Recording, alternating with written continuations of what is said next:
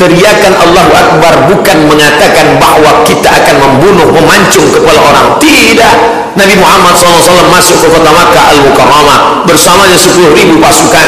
Apa kata Sa'ad bin Ubadah, panglima perangnya. Hada yaumul malhamah. Ini hari balas dendam. Mari kita bunuh mereka. Mari kita potong telinga mereka. Apa kata Nabi SAW? Hada yaumul marhamah. Ini hari berkasih sayang. Dulu Abu Sufyan yang datang dengan kudanya berwarna hitam memijak jenazah-jenazah di Bukit Uhud. Mereka bunuh Hamzah Sayyidus Syuhada sampai mereka belah jantungnya, mereka kunyah jantung Hamzah. Menangis Nabi tersedak sampai ke lehernya.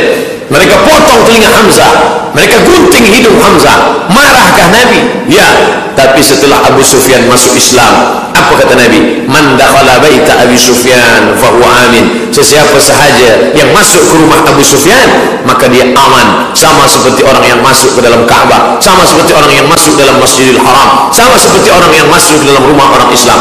Begitulah Islam mengajarkan maaf. Karena maaf itulah maka turun ayat idza wal fath ketika datang pertolongan Allah dan kemenangan. Wa ra'aitan nas kau lihat manusia yadkhuluna fi dinillah masuk ke dalam agama Islam bersyahadat afwaja berbondong-bondong bergelombang berkelompok. Bukan satu bukan dua bukan lima bukan sepuluh. Afwaja berbondong-bondong. Ra'aitan nasa yadkhuluna fi dinillahi afwaja fasabbih maka bertasbihlah mengagungkan Allah. Jangan angkuh jangan sombong. Jangan kau katakan kerana aku kerana kami tapi katakanlah subhanallah ini kerana kesucian Allah ini kerana pertolongan Allah لا إله إلا الله لا إله إلا الله لا إله إلا الله ما لنا رب سواه